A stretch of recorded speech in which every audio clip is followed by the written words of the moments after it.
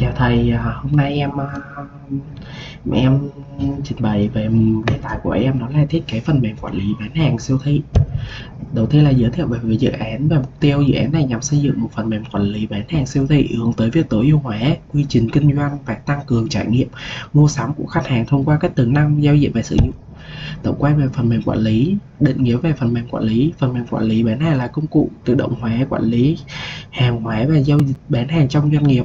Ý nghĩa của việc sử dụng phần mềm là ừ, quản lý bán hàng thông, hàng trong siêu thị, giúp tối ưu hóa, quản lý hàng hóa, cải thiện phân tích, kinh doanh và tăng cường trải nghiệm mua sắm cho khách hàng.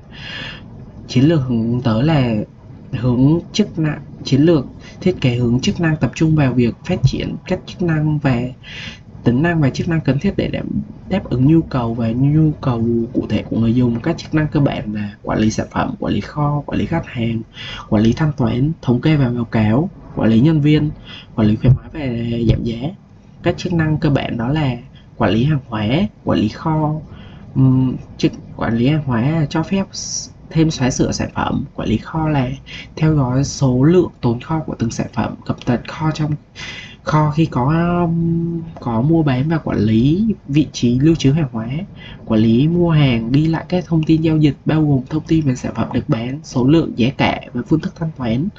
Thống kê tạo ra một báo cáo biểu đồ thống kê về doanh số, lợi nhuận tồn kho, chỉ số kinh doanh và khác để hỗ trợ đưa ra quyết định. Quản lý khách hàng, lưu trữ thông tin khách hàng, lịch sử mua bán và lịch sử giao dịch. Chiến lược kinh doanh hướng đối tượng, giới thiệu là chiến lược, thiết kế hướng đối tượng, tập trung vào tổ chức phần mềm thành các đối tượng thuộc tính và phương thức tương ứng, tạo ra một phần mô hình phản ánh xạ chặt chẽ các thiết, chặt chẽ giữa thế giới thực và máu nguồn phần mềm. Lý do chọn chiến lược vì nó giúp tạo ra một phần mô hình phần mềm linh hoạt, dễ bảo trì lợi ích cho việc sử dụng. Nó trong dự án và dễ dàng quản lý, mở rộng và tái sử dụng máy nguồn thiết kế hướng đối tượng, thì cấu trúc của hệ thống dựa trên các đối tượng về mối quan hệ giữa chúng.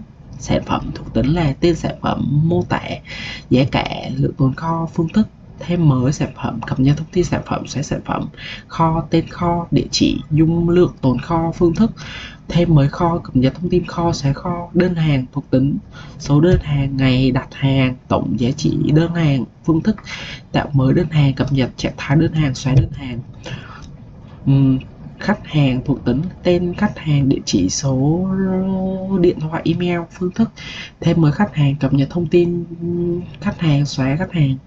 Ừ, nhân viên thuộc tính, tên nhân viên, chức vụ, làm việc, phương thức. Thêm mới nhân viên cập nhật thông tin nhân viên, xóa nhân viên. Mối quan hệ là sản phẩm và kho, mỗi sản phẩm được lưu trữ tại một kho cụ thể. Đơn hàng và khách hàng, mỗi đơn hàng được đặt bởi một khách hàng cụ thể. Đơn hàng và sản phẩm, mỗi đơn hàng chứa thông tin về sản phẩm được mua. Đơn hàng và nhân viên, mỗi đơn hàng được xử lý bởi một nhân viên cụ thể. Tiếp theo đó là mô hình UK UK về quản lý sản phẩm. Admin được hoặc nhân viên quản lý thông tin về khách hàng. Ừ, các bước đó là thêm mới sản phẩm, thêm sản phẩm và một sở hữu dữ liệu với các thông tin như mô tả, giá cả và số lượng tồn kho, cập nhật thông tin ừ, xóa sản phẩm loại ừ, UK quản lý kho, mô tả, admin hoặc nhân viên quản lý thông tin về các kho chứa hàng hóa của cửa hàng. Các bước đó là thêm mới kho, cập nhật thông tin kho xóa kho. UK về quản lý đơn hàng. Mô tả đó là admin hoặc nhân viên quản lý các đơn hàng từ khách hàng. Các bước đó là tạo mới đơn hàng, cập nhật thông tin trạng thái đơn hàng, xóa đơn hàng. UK quản lý khách hàng. Mô tả admin hoặc nhân viên quản lý thông tin về các khách hàng của cửa hàng. Các bước đó là thêm mới khách hàng, cập nhật thông tin khách hàng, xóa khách hàng.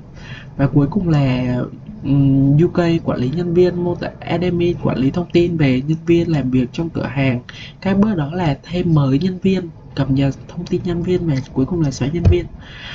À, sau đây là giao diện về phần mềm quản lý, lý siêu thị của em. Đây là trang chủ. Đây là lưu trữ chi tiết từng thuộc tính này còn đây là trang tìm kiếm thông tin sản phẩm đây là trang cập nhật điều chỉnh hàng tồn kho dưới các chi nhánh và kiểm kê hàng hóa định, định kỳ mọi lúc mọi nơi. Trên đây là trang có thể bổ sung theo dõi và tương tác thường xuyên với khách hàng. Kết luận đề tài thiết kế phần mềm quản lý bán hàng siêu thị giúp chúng ta khám phá việc thiết kế phần mềm bằng cách sử dụng. Cả hai chiến lược là là hướng chức năng và hướng đối tượng. Từ việc xác định yêu cầu phân tích chức năng đến việc mô hình hóa đối tượng và thiết kế use case, chúng ta có thể tìm hiểu về giá trị phần mềm quản lý, bán hàng, mang lại cho siêu thị, tóm lại biến thiết kế và triển khai phần mềm này. Không chỉ tối ưu hóa hoạt động kinh doanh mà còn nâng cao trải nghiệm của khách hàng và cung cấp thông tin quan trọng để hỗ trợ quyết định chiến lược của doanh nghiệp. À, bài thuyết trình của em đến đây là kết thúc. Cảm ơn thầy ạ.